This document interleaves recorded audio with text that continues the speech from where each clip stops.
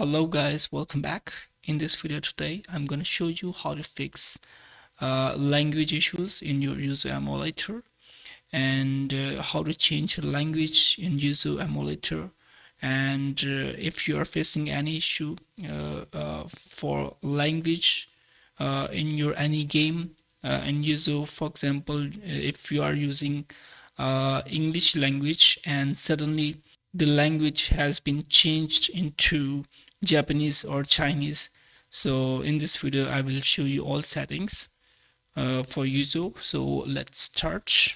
Uh, first solution is make sure you are using uh, latest version of Yuzu so I'm using Yuzu 4155 so first solution is change your version of Yuzu you you can use older version or you can use latest version so uh, you can try uh, by changing the version of Yuzu and second solution is solution number two uh, go to emulation and configuration. And go to go to system and region select USA and go to language select from here American English or and okay.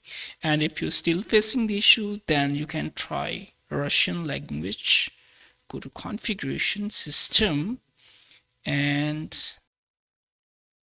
so select this one and okay. So after these settings you can fix the issues for language in your Yuzu emulator for any, any game. So hope you liked the video and thanks for watching